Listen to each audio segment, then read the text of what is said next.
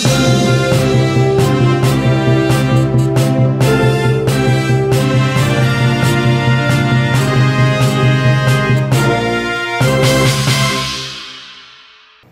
Friends ఎలా ఉన్నారు?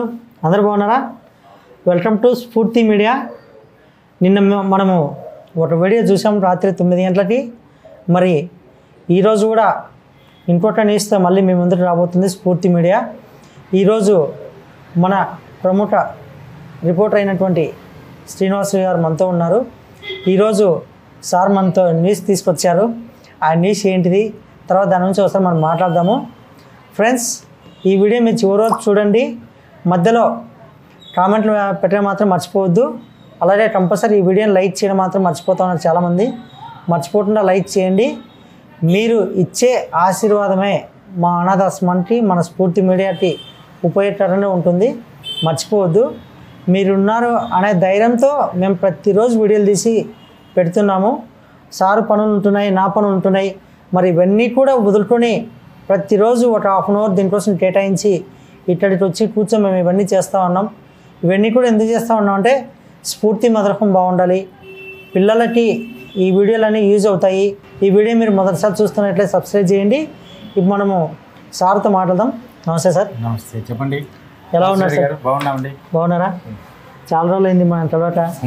ఇంతకుముందు ఒక వీడియోతో తీసాము మళ్ళీ తర్వాత వీడియోలు చేద్దాం అనుకుంటున్నాను కానీ కుదరట్లేదు. మీరు పాపం పని మీద ఉంటున్నారు. కానీ మీ టైం కేటాయించడం చాలా గొప్ప సంగతి మా కోసం. ఎందుకంటే మా కోసం మా ప్రేక్షకుల కోసము మీరు టైం కేటాయించి ఇక్కడికి వచ్చి ఈరోజు ఇక్కడ మాతో టైం స్పెండ్ చేశారు. దానికి చాలా కృతజ్ఞతలు. సార్ ఈరోజు విశేషాలు ఏంటి సార్? ఎలా ఉన్నాయి? ఏముంది? ముఖ్యంగా కరోనా థర్డ్ వేవ్ ఒమిక్రాన్ అనేది వేగంగా వ్యాపిస్తుంది మన భారతదేశంలో. అవును అదే ముఖ్యంగా ఆంధ్రప్రదేశ్ అందులో ముఖ్యంగా మన కర్నూలు జిల్లాలో కూడా దాదాపు ఈ ఒమిక్రాన్ వ్యాప్తి ఎక్కువ వేగంగా వస్తుంది. ముఖ్యంగా పదహారు సంవత్సరాలలోపు పిల్లలకు ఈ కరోనా వైరస్ ఒమిక్రాన్ మూడో రకం అనేది ఎక్కువ ప్రభావం చూపుతూ ఉంది. సో తల్లిదండ్రులలో చదువుకునే విద్యార్థుల పిల్లల తల్లిదండ్రులు కూడా ఆందోళన చెందుతున్నారు. ప్రభుత్వము కరోనాకు సంబంధించి కఠిన చర్యలు తీసుకుంటున్నామన్నప్పటికీ వైరస్ అనేది వస్తే ఎలా ఉంటుందో చెప్పలేని పరిస్థితి కాబట్టి తల్లిదండ్రులు చాలా ఆందోళనతో ఉన్నారు. ప్రభుత్వం భరోసా ఇస్తున్నప్పటికీ వైరస్ అనేది దాని ప్రభావం ఎట్లా ఉంటుంది అనేది మనకు కూడా తెలియదు కాబట్టి మొదటి దశ రెండో దశ చూసాం కానీ మూడో దశ అనేది దాని ప్రభావం ఎంతవరకు ఉంటుంది ఎలా తీస్తుంది మన మనిషి యొక్క ఆరోగ్యంపై ఎట్లా ఉంటుంది అనేది చూడాల్సిందే. కాకపోతే కరోనాకు సంబంధించి ప్రభుత్వం ప్రికాషన్ తీసుకున్నప్పటికీ చాలా మంది మాస్కులు కట్టుకోవడం లేదు. అవును. మెయిన్గా శానిటైజర్స్ వాడట్లేదు. యథావిధిగా ఓపెన్గా తిరిగేస్తున్నారు. సమూహం పెరుగుతూ ఉంది. రద్దీ పెరుగుతూ ఉంది. ఎక్కడ చూసినా మాస్కులు అనేవి ఎక్కడా కనపడట్లేదు. తక్కువ శాతం అంటే దాదాపు నూటికి ఒక ముప్పై శాతం తప్ప డెబ్బై శాతం ప్రజలు అసలు మాస్కులు ధరించట్లేదు. వాళ్ళకు మరి అవగాహన లోపించిందా? ఏమవుతుందా అనేది వాళ్ళకేం అర్థం కావట్లేదు. చాలా జాగ్రత్తగా ఉండాలి. ఇప్పటికైనా ప్రజలందరినీ మేము కోరుకునేది ఏంటంటే కరోనా నియమాలు ప్రభుత్వం ఎట్లా మనకి ఎట్లా పెట్టిందో అదే విధంగా ఉండాలి. ముందు మాస్క్ ధరించాలి. శానిటైజర్స్ పెట్టుకోవాలి. సామాజిక దృష్టి సామాజిక దూరం అనేది ఖచ్చితంగా పాటించాలి. అలా పాటిస్తేనే మన కరోనా మూడవ దశను అదుకుంటాం కానీ లేకపోతే మనం ఆరోగ్య పరిస్థితి ఎలా ఉంటుందనేది కష్టంగానే ఉంటుంది. తీవ్రంగా నష్టపోవాల్సి తీవ్రంగా నష్టపోతాం. కాబట్టి ఖచ్చితంగా జాగ్రత్తలు తీసుకోవాలి తీసుకోవాలి. ఆ స్ఫూర్తి మీడియా తరపున నేను కోరేది ఒకటే ప్రజలకందరికీ. ఖచ్చితంగా జాగ్రత్తలు తీసుకోవాల్సిందే. పిల్లలు ముఖ్యంగా పిల్లల విషయంలో మాత్రం తల్లిదండ్రులు చాలా అప్రమత్తంగా ఉండాలి. ఉమ్, స్కూల్కి వెళ్ళేప్పుడు ఖచ్చితంగా మాస్కులు ధరించాలి. తీసుకొని వెళ్ళిపోవాలి. పిల్లలు కూడా కష్టం లేకపోతే కష్టం కూడా. చిన్న చిన్న శానిటైజర్ గవర్నమెంట్ ఒకటి ఏం చేయాలంటే ముఖ్యంగా సరే టెన్త్ ఇంటర్మీడియట్ పక్క పెడితే ఒకటి నుంచి తొమ్మిదో తరగతి పిల్లల కల్లా ప్రస్తుతానికి ఆన్లైన్ క్లాసులు పెడితే బాగుంటుంది. అని బాగుండదు మా యొక్క వినతి కోరుకుంటున్నాం నిజమే. ఎందుకంటే చాలా మంది కూడా ఇదే కోరుకుంటున్నారు తల్లిదండ్రులు ఒకటి నుంచి తొమ్మిదో సరే టెన్త్ ఇంటర్ అంటే బాధ్యతాయుతంగా ఉంటూ పిల్లలకు ఇప్పటికే రెండు సార్లు కరోనాతో ఎగ్జామ్స్ పెట్టలేకపోయారు కాబట్టి కొంత ప్రికాషన్స్ తీసుకుంటున్నామంటున్నారు కాబట్టి టెన్త్ క్లాస్ వాళ్ళు ఇంటర్మీడియట్ వాళ్ళకు ఒకవేళ స్కూల్స్ అనేది పెట్టడమో లేదు వారి మీద కూడా ఆ వయసు వాళ్ళకు కూడా ప్రభావం చూపుతుందంటే ఇంకా ఆన్లైన్ క్లాసులు పెట్టడమే పెట్టడం. ప్రస్తుతానికి ఒకటి నుంచి తొమ్మిదో తరగతి వరకు విద్యార్థులకు మాత్రం ఖచ్చితంగా సెలవులు సెలవులు అంటే సెలవులు కాదు ఆన్లైన్ క్లాస్ అనేది ఆన్లైన్ క్లాస్ నిర్వహిస్తే బాగుంటుంది అనేది మేము ప్రభుత్వాన్ని కోరుతున్నాం. మరి ప్రభుత్వం ఏం చేస్తుందో చూడాలి మరి.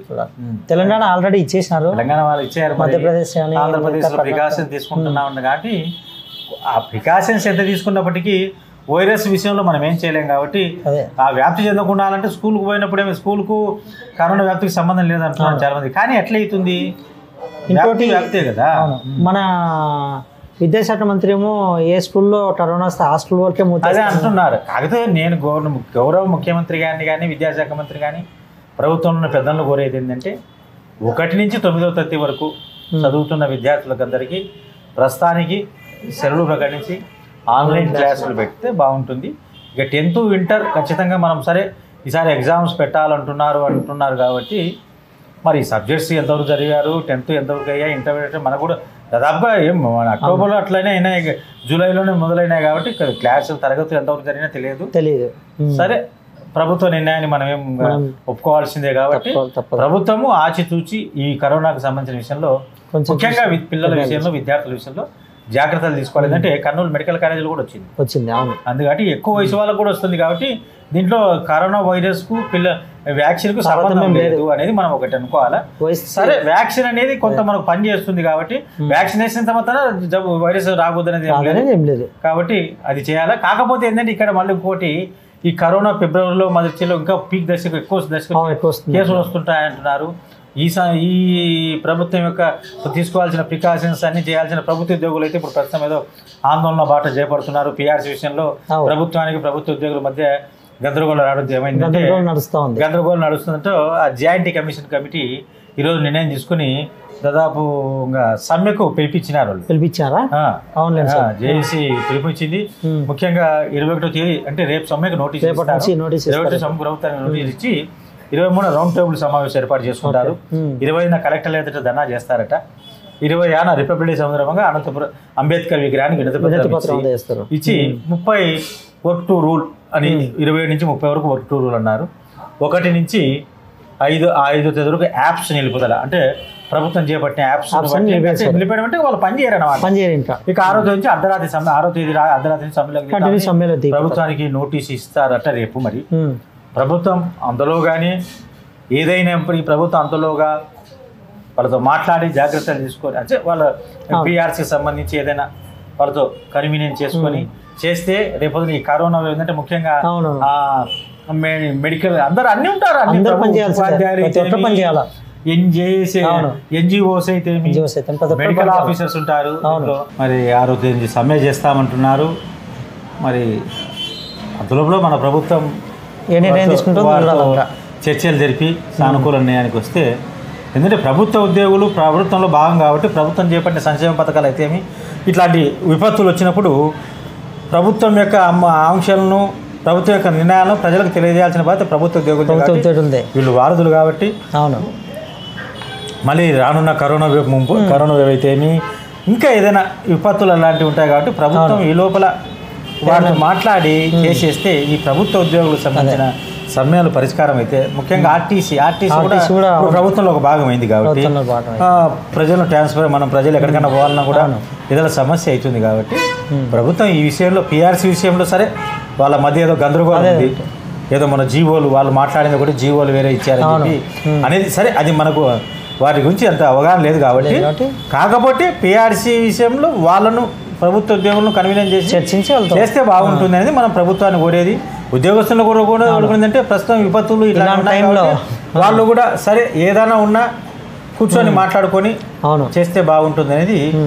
ఒకటి మెయిన్గా ఎందుకంటే. ఇలాంటి టైంలో వాళ్ళు కూడా ఇట్లా డాక్టర్లు కానీ ఇలాంటి వీళ్ళు చేస్తే ఏదైనప్పటికీ ప్రభుత్వము అంటే అందరూ వస్తారండి. వస్తారు. అవును. న్యాయమూర్తులు మొదలుకొని మున్సిపాలిటీ కార్మికుల వరకు ప్రభుత్వంలో భాగమే. వల్ల వ్యవస్థ ఎంత ఆగిపోతుంది? టోటల్ మొత్తం ఇలా ఎంత అవుతుంది. ప్రజలకు ప్రజలకు ఉదయం లేచినా ఉద్యోగులతోనే పని. ఉద్యోగులతోనే పని. తహసీల్దార్ ఆఫీస్ అయితే ఎండి ఆఫీస్ అయితే సబ్ రిజిస్టార్ అయితే ఆఫీస్ అయితే ఇంకా ఏదైనా న్యాయపరమైన అంశాలు ఏవైనా కానీ వాళ్ళ ప్రభుత్వ సచివాలయాలు ఏర్పాటు. అవును. ముఖ్యంగా గ్రామ సచివాలయాలు. గ్రామ సో. ఏర్పాటు చేసినప్పుడు ఏర్పాటు చేసినారు కాబట్టి వాళ్ళతో కూడా వాళ్ళ మీద సమ్మెలకు కూడా ప్రమాదం ఉంది కాబట్టి ప్రభుత్వం వెంటబడి చేయాలి.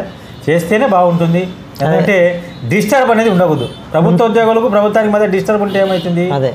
వ్యవస్థ అదే అది అది అది ఎట్లా ఉంటుంది రెండు వైపులా. అదే కరోనా ముంచుకొస్తుంది ఇది ముంచుకొస్తుంది మెయిన్గా కరోనా అనేది. కీలకమైన అంశం. అవును?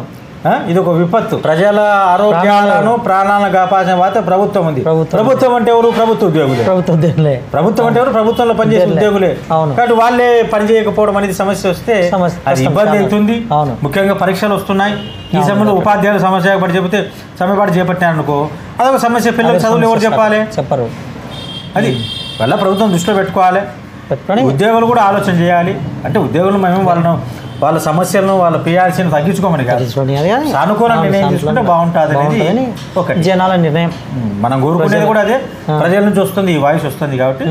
ప్రభుత్వము ప్రభుత్వ ఉద్యోగులు. అంతా. ఒకటే ప్రభుత్వంలో ప్రభుత్వం అంటే ప్రభుత్వ ఉద్యోగులు. దానికి ఏం ప్రభుత్వం ఏంటంటే ఒకవేళ మనము ఎమ్మెల్యేలు శాసనసభ్యులు అనుకున్నా ప్రభుత్వంలో ఆ చట్టాలు చేయాల్సిందే వాళ్ళు చెప్పినా కూడా చేయాల్సిన ఉద్యోగులే. అంటే ఐఏఎస్ ఐపీఎస్లే కాబట్టి వీళ్ళు ఐఏఎస్ అంటే వాళ్ళు కూడా ఉద్యోగస్తుల్లో బాగా. కాబట్టి వాళ్ళ ఆలోచన చేసుకుంటే బాగుంటుంది. అది మనం కోరుకునేది ఒకటి.